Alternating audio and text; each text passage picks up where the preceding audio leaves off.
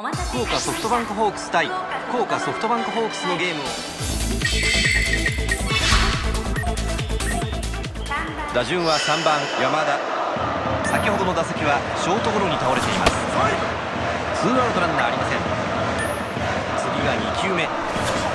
変化球タイミング合いません。ノーボールツーストライクです。打ちました。セカンド取った。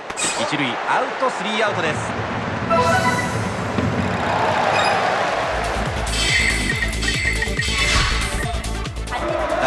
番今宮。エラーでランナーを出しています。初球時レフト線フェアです。バッターランナーは二塁到達。チャンスを広げていきます。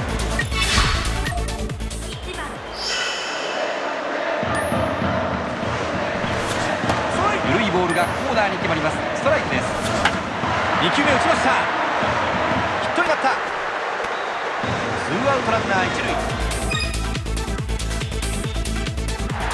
今日は見事な完封で白星を挙げました。